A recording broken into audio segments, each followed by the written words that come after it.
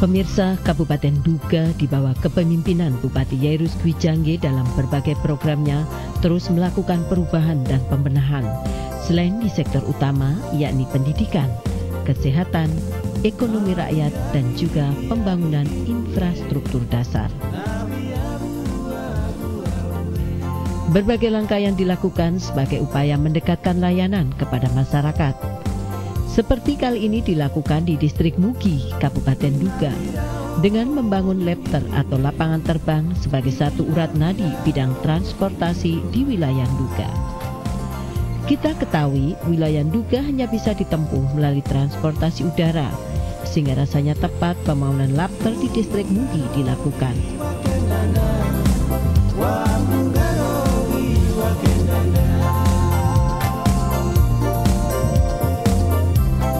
Selain pembangunan berbagai sarana prasarana lainnya seperti pendidikan, kesehatan, pertanian, dan perkantoran kampung, serta beberapa fasilitas tersebut yang telah selesai dibenahi.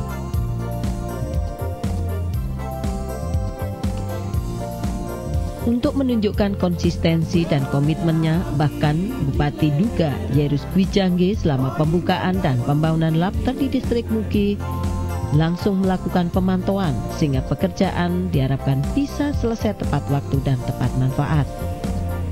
Untuk pembangunan lapter tidak ada ganti rugi tanah karena lapter untuk kepentingan masyarakat bersama dan saat ini telah berjalan.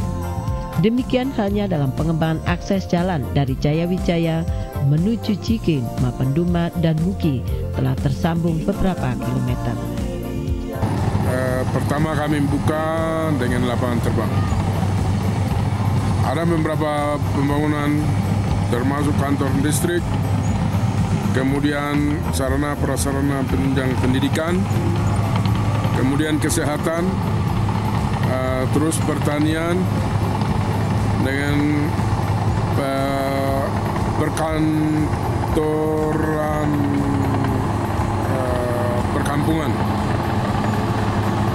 ada beberapa beberapa gedung sudah jadi, sudah bangun.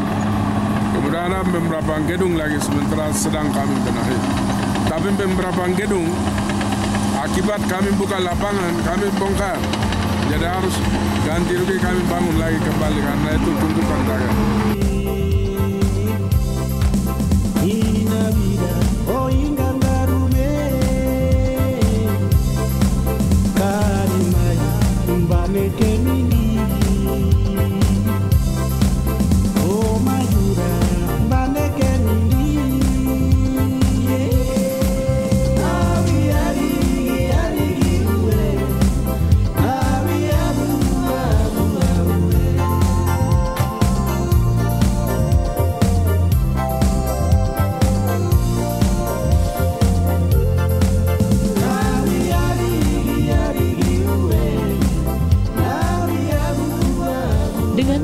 dagang. distrik Muki diharapkan bisa mendukung akses penerbangan Dinduka yang saat ini mencapai 600 hingga 700 meter.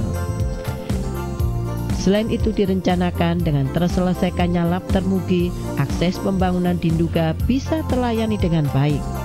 Dan nantinya diharapkan bisa didarati berbagai jenis pesawat seperti karavan, twin otter, dan moda lainnya. Kesemua yang dilakukan oleh Bupati Duga Yairus Gwijangge menjadi satu langkah tepat dan strategis untuk menjawab kebutuhan masyarakat di bidang transportasi yang selama ini masih menjadi ujung tombak untuk mendekatkan layanan di masyarakat. Dengan harapan dengan terbukanya lapter di distrik Mugi, akses transportasi udara bisa terlayani dengan mudah, sehingga berbagai hasil ekonomi rakyat dan pembangunan bisa dibawa pulang dengan mudah. Kami juga sedang mengarahkan masyarakat supaya pertaniannya itu juga harus kuat. Pemeliharaan hewan juga harus kuat. Pemeliharaan ternak juga harus kuat. Dan kami sering lakukan sering lakukan berikan modal modal usaha kepada masyarakat melalui dinas perindakop dan saya sering sering keliling di kampung-kampung tapi hasilnya belum pernah mereka wujudkan di depan saya. Nah, ini juga ini juga saya tidak mengerti dengan cara masyarakat jadi saya harap masyarakat juga harus ikut maju dalam perkembangan dunia dunia apa dunia dunia dunia usaha. Jangan hanya menjadi penonton setia. Jangan selalu bilang bupati bupati pesawat saya mau ke Derakma saya mau ke Derakma tapi mereka mereka juga harus betah di tempat tugas tem, di tempat tinggal di kampung kemudian ke, apa tingkatkan usaha-usaha kecil lah supaya masyarakat juga bisa hidup hidup mandiri. Selain itu, Bupati Yairus Dwi Jangge mengajak masyarakat Duga, khususnya di distrik Mugi, melalui dana otsus yang telah digelontorkan pemerintah pusat bisa merubah wajah Duga sehingga bisa mengejar ketertinggalan yang ada selama ini dengan membangun berbagai infrastruktur dasar dengan jiwa besar dan lapang dada karena tidak ada pembebasan dan ganti rugi tanah. Dan hal ini harus didukung sepenuhnya oleh semua elemen masyarakat karena pembangunan lapter demi kepentingan rakyat bersama. Selain itu, hal penting lainnya, masyarakat diharapkan bisa menjaga berbagai sarana dan prasarana serta fasilitas yang telah dibangun termasuk di dalamnya pendidikan, kesehatan, sekolah, puskesmas sebagai milik bersama. Demikian halnya terkait tenaga pendidik dan petugas medis.